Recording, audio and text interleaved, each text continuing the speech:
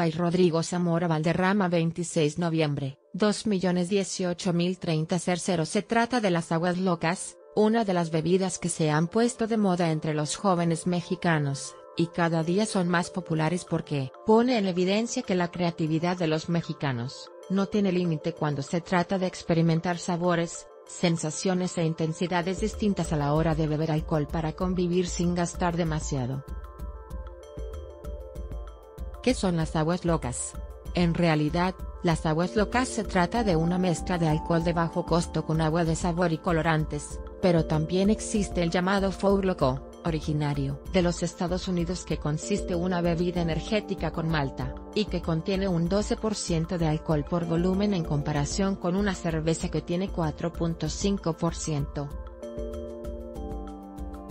Existe con sabores a cereza y fruta roja. También la bebida contiene taurina, guaraná, cafeína y ajenjo, responsable del efecto embriagante.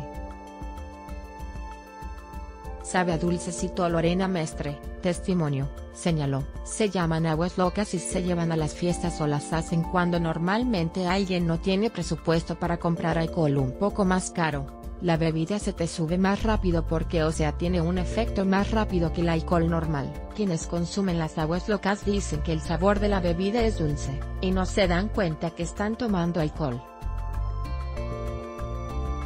Sabe como dulcecito y entonces como sabe dulce lo vas tomando, y no te das cuenta que estás tomando alcohol comentó Lorena Mestre. Además, la borrachera con el Four Loco se presenta en forma más tardía debido al efecto de la cafeína, pero las consecuencias para la salud pueden ser catastróficas, al igual que con los jarabes para la tos con codeína, que los chicos mezclan con bebidas energéticas para no tener aliento alcohólico, pero que además de su efecto en el sistema nervioso central en el momento de ingerirlas, resultan altamente adictivas